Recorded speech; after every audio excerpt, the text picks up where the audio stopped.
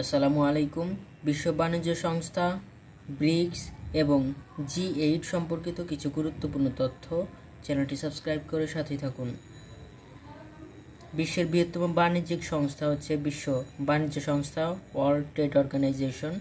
এটা হচ্ছে বিশ্বের বৃহত্তম বাণিজ্যিক সংস্থা। কিন্তু বিশ্বের বৃহত্তম অর্থনৈতিক জোট যদি বলা হয়, তাহলে হচ্ছে ইউরোপীয় union. World trade organization WTO এর পুনরূপ হচ্ছে ওয়ার্ল্ড ট্রেড অর্গানাইজেশন বিশ্ব বাণিজ্য সংস্থা, প্রতিষ্ঠিত হয় পয়লা জানুয়ারি উনিশশো পঁচানব্বই সালে। বিশ্ব বাণিজ্য সংস্থা ডাব্লিউটিও এর সদর দপ্তর অবস্থিত জেনেভা, সুইজারল্যান্ডে। বিশ্ব বাণিজ্য সংস্থা ডাব্লিউটিও এর পূর্ব নাম ছিল জিএটিটি বিশ্ব বাণিজ্য সংস্থা ডাব্লিউটিও এর পূর্ববর্তী সংস্থা ছিল হচ্ছে জিএটিটি জিএটিটি থেকে জি জিওটিটি থেকে ডাব্লিউটিও রূপান্তরিত হয়। পয়লা জানুয়ারি উনিশশো পঁচানব্বই সালে জিএটিটি প্রতিষ্ঠিত হয়েছিল উনিশশো সাতচল্লিশ সালে সুইজারল্যান্ডের জেনেভায়। জিএটিটি এর সদর দপ্তর অবস্থিত জেনেভা, সুইজারল্যান্ড। জিএটিটি এর পুনরূপ general agreement on tariffs and trade. General agreement on tariff and trades. GATT Uruguay round যে বিষয়ের সাথে সম্পর্কিত বিশ্ব বাণিজ্য সংস্থার সাথে সম্পর্কিত উরুগুয়ে রাউন্ড। উরুগুয়ে রাউন্ড সংলাপ চলেছিল আট বছর ধরে। উরুগুয়ে রাউন্ড সংলাপ শুরু হয়েছিল উনিশশো ছিয়াশি সালে এবং শেষ হয়েছিল উনিশশো চুরানব্বই সালে। টোটাল আট বছর, ছিয়াশি থেকে চুরাশি। এর মাধ্যমে বিশ্ব বাণিজ্য সংস্থা প্রতিষ্ঠা লাভ করে। বিশ্ব বাণিজ্য সংস্থা ওয়ার্ল্ড ডাব্লিউটিও গঠনের প্রধান ভূমিকা পালন করে হচ্ছে জাপান।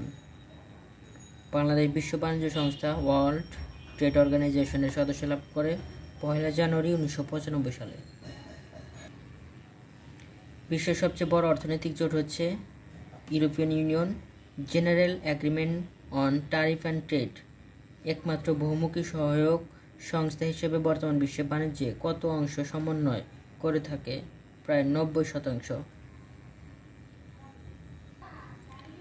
কোনটি জাতিসংঘের বিশেষায়িত সংস্থা নয়? জাতিসংঘের বিশেষায়িত সংস্থা হচ্ছে ডাব্লিউটিও। আইবিআরডি, আইসিএও, আইএলও, এগুলো জাতি জাতিসংঘের বিশেষায়িত সংস্থা। কোন সংস্থার পরিবর্তে ডাব্লিউটিও গঠিত হয়েছিল? GATT.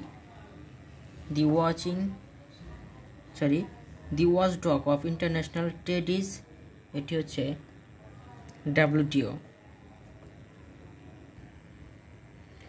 ব্রিক্স সম্পর্কিত কিছু গুরুত্বপূর্ণ সংক্ষিপ্ত প্রশ্ন উত্তর সর্বপ্রথম যুক্তরাষ্ট্র ভিত্তিক ব্যাংকিং ও আর্থিক সেবাদান প্রতিষ্ঠান গোল্ডম্যান স্যাক্স এর অর্থনৈতিক অর্থনীতিবিদ জিএমও জিমো নীল দু হাজার এক সালে ব্রিক্স ধারণা প্রবর্তন করেন। ব্রিক্স হল উদীয়মান অর্থনৈতিক দেশসমূহের একটি আর্থিক জোট। মূলত অর্থ ও বাণিজ্যিক ক্ষেত্রে ক্ষেত্রে সদস্য দেশগুলোর মধ্যে সহযোগিতা বৃদ্ধির লক্ষ্যে দু হাজার আট সালে আত্মপ্রকাশ করে ব্রিক্স এবং দু হাজার এগারো সালে আফ্রিকা জোটে, আফ্রিকা এই জোটে সংযুক্ত হলে। এর নাম হয় BRICS. Brazil Brazil, Russia, India, চীন এবং দক্ষিণ আফ্রিকা। ব্রিক্স। অধ্যক্ষরের সমন্বয়ে ব্রিক্স এর নামকরণ করা হয়েছে। ব্রিক্স হলো ব্রাজিল, রাশিয়া, ইন্ডিয়া, ভারত, চীন, সাউথ আফ্রিকা। এই পাঁচটি দেশের নাম অধ্যক্ষরের নিয়ে গঠিত অর্থনৈতিক জোট হচ্ছে ব্রিক্স। ব্রিক্স প্রতিষ্ঠিত হয় দু হাজার আট সালে। পূর্ব নাম ছিল ব্রিক, অর্থাৎ আফ্রিকা ছিল না, সাউথ আফ্রিকা। ব্রিক থেকে ব্রিক্স নামকরণ করা হয় দু হাজার এগারো সালে। দু হাজার এগারো সালে সাউথ আফ্রিকায় এই সংস্থায় যোগদান করলে নামকরণ করা হয় ব্রিক্স। ব্রিক্স এর সর্বশেষ সদস্য দেশ হচ্ছে সাউথ আফ্রিকা। ব্রিক্সের সদর দপ্তর নেই। ব্রিক্স কর্তৃক প্রতিষ্ঠিত ব্যাংকের নাম new development bank, NDP. New development ব্যাংককে কেউ ব্রিক্স ব্যাংক নামে অভিহিত করে থাকেন। নিউ ডেভেলপমেন্ট ব্যাংক, এনডিপি বা ব্রিক্স ব্যাংক প্রতিষ্ঠিত হয় দু হাজার চোদ্দ সালে। নিউ ডেভেলপমেন্ট ব্যাংক আনুষ্ঠানিকভাবে কার্যক্রম শুরু করে দু হাজার ষোলো সালে।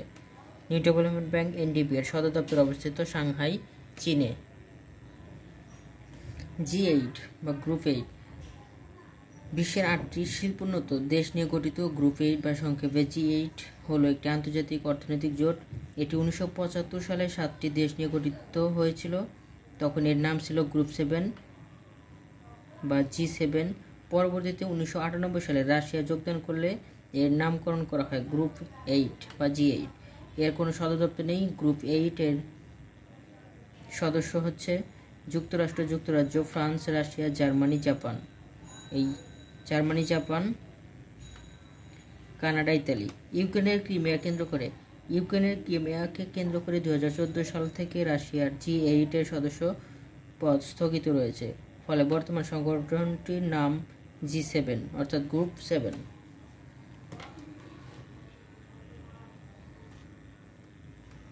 গ্রুপ সেভেন প্রতিষ্ঠিত হয় উনিশশো পঁচাত্তর সালে। এর কোনো সদর দপ্তর নেই। গ্রুপ সেভেনের এশীয় দেশে একমাত্র দেশ হচ্ছে জাপান।